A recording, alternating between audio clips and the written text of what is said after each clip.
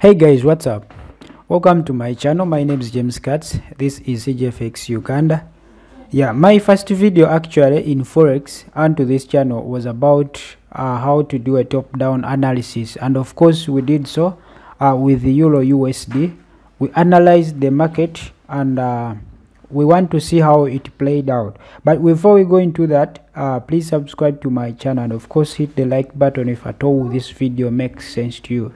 Remember my aim here is to teach you how to analyze fully the market. Before you enter into uh, taking a trade you have to be sure about what you've analyzed. So i'll hope you to go through all that at a free cost. What you have to do is just to subscribe to this channel hit the notification button so that whenever i upload uh, videos you you get to informed so let's go into the video and see how the market played out. If you want to see how we analyzed this of course check out in the in our first video. Check out in our first video then we see you'll see what i'm talking about.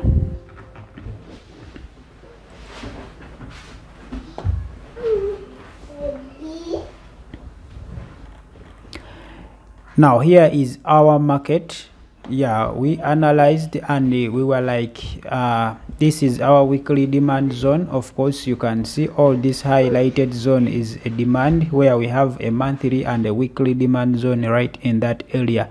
And of course we see this raising wedge or you can call it a flag pattern but you can see that right there. Once you see that in such an area where we have demand zones just know that the market is most likely to switch direction okay? We are most likely to see a change in character. So as you can see the market is truly moving up. So we are expecting this market actually to sweep out this liquidity right here and then it continues right up to this trend line up here okay? Just up here. So if it penetrates through then we expect the market to continue moving up.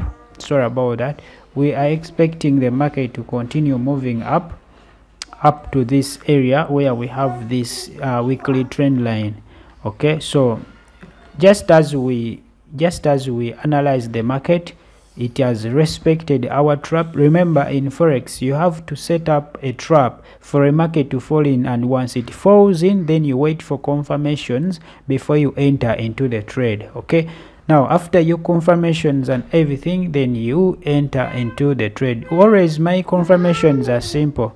Three bullish candles if i'm going in for long. After three bullish candles I just enter there and then. Likewise in, in, in, in a bearish trend. If I'm if I'm booking or if I'm looking for a short I wait for three bearish candles then I enter into the market. Otherwise this is how the market is playing out. If we switch to 15 minutes time frame let's see. We switch to 15 minutes time frame that's how the market is really playing out right in this area here. So we are expecting a breakthrough a breakthrough out of this.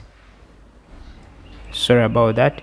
Rather out of this. Remember we have this uh, we have this liquidity right there so once it sweeps out to this and it continues up we shall be in some cool moves right there. And of course we are moving up. Otherwise guys thank you so much for watching this video. Please hit the like button so that this video is suggested to other friends like you who are seeking knowledge in forex you know. Then of course feel free to subscribe for more videos. Thank you for watching. Let's meet in another pair as I continue to teach you basically how to analyze and of course other technicalities in forex. My name is James Kats. Keep it locked